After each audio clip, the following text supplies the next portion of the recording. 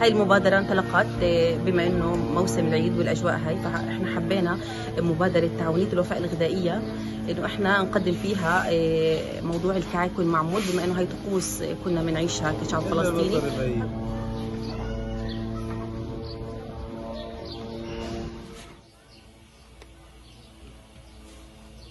فإحنا قدرنا من أبسط مقومات الحياة إنه إحنا نخلق مشروع من لا شيء. الإمكانيات كثير الوصول لها صعب ولكن إحنا بطريقتنا بجهودنا الشبابية كمبادرين بنحاول إحنا نحصل على هذه الأشياء الغذائية آه، قدر الإمكان.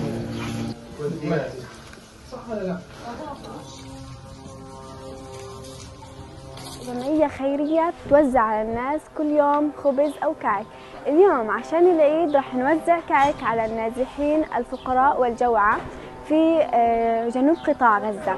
إن شاء الله يا رب نبسطهم ونسعدهم نقدر نسعد كثير ناس بهذه المناسبة العيد. حتى لو في ظروف صعبة حتى فوق كثير زنانات فوق في السماء ما بتسكت آه، راح نوزع ونحسس إنه إنه في عيد لسه يعني حتى رغم الظروف في عيد.